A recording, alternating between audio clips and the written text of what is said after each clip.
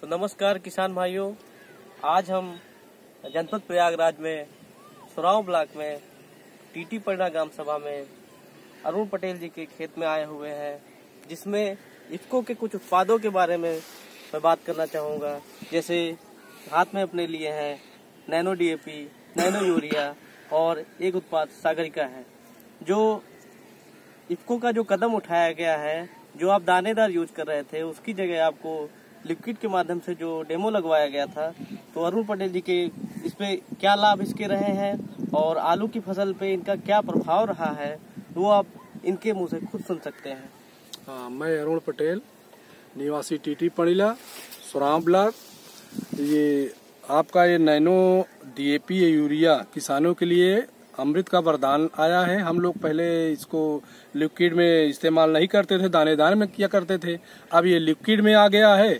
हमने इसको एक बार ड्रोन से छिड़काव किया, उसके बाद दूसरी छिड़काव अपने से किया, यही नैनो, डीएपी, सगारिका आदि, जो अभी तक इस खेत में कोई रोग वोग नहीं आया है, हमारी आलू बहुत अच्छी है। इसका प्रोडक्ट अब खोदने के बाद क्या होगा? इससे अभी पेड़ पौधा देखकर हम लोग बहुत संतुष्ट हैं।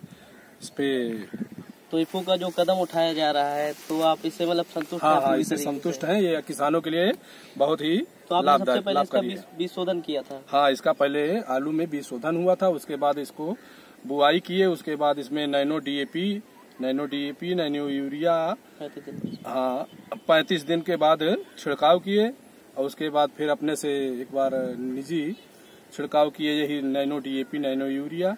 अभी तक हमारी फ़सल बहुत अच्छी है। तो आप इनके पौधों के कल्लों के देख सकते हैं और पौधे के क्या प्रभाव है? आलू ये आलू की फ़सल है इनकी और इसकी हाइट भी देख सकते हैं और पत्तियाँ देख सकते हैं कैसे किसकी इतनी पत्तियाँ और साथ में इनका आलू का जैसा उपज होती है। तो आप जो भारत सरकार का जो लक्ष्य है किसानों की आय दुगना करना तो आप इस एक कदम की ओर बढ़ रहे हैं। हाँ हाँ हाँ ये ये बहुत अच्छा प्रोग्राम है ये सही सही, सही चल रहा है।